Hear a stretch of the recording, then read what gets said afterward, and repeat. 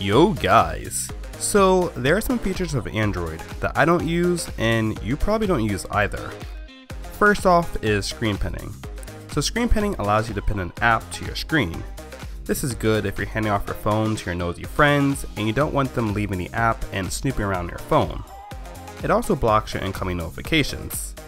Now, I'm not sure if this is just a bug with my Note 5, but when unpinning, it doesn't prompt me for a password, which I'm pretty sure is the whole purpose of screen pinning to begin with. Have you tried Face Unlock? Because if you haven't, you really should. Now, I know this sounds like a gimmick, but it actually works pretty damn well. I unlock my screen, and my phone's unlocked. Watch again. Turn on my screen, and my phone is unlocked.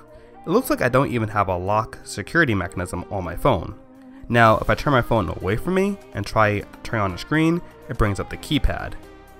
Now, obviously, this is not usable in all situations, and it could be easily bypassed with a picture.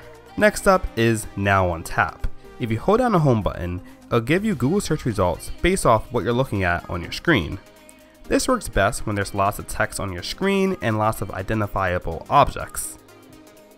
Now, unfortunately, this doesn't work 100% all the time. Sometimes it won't give you any results at all, and other times it gives you just wrong results. I find that this works best when going through a conversation. If you're talking about different topics, you can do a Google Now on Tap search and bring up all those topics that you're talking about. And finally, multi-users. So this is something that works well on a tablet, but I don't really know why Google put it on a phone. Multi-users allows you to add a different user to your phone. Now what's cool is you and this other user will share separate apps, settings, and be completely independent of each other. Like I said, a really cool idea on a tablet, but I don't really think people share their phones enough for this to be useful. So guys, those are some of my least used features of Android.